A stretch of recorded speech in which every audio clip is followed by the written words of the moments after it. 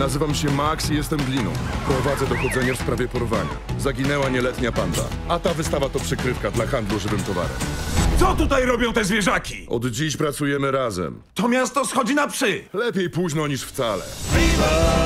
Las Vegas. I give props to hip hop, so hip hop hooray! Viva Las Vegas. Hey! Co? Przestań! Max, przestań! Psy nie robią hip-hopu!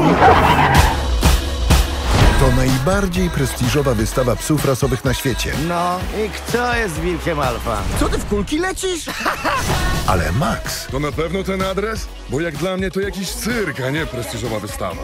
zwęszył pismo nosem. Zaraz, jesteś psem? Wolę słowo policjant. Po prostu wygraj ten konkurs. Jasne.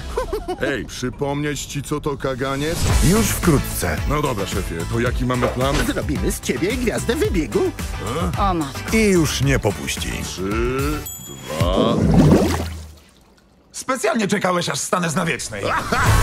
Zresztą nie on jeden. Cielam was do czynnej służby.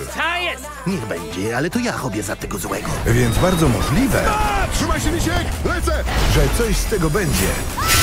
Nie jesteś taki jak inni.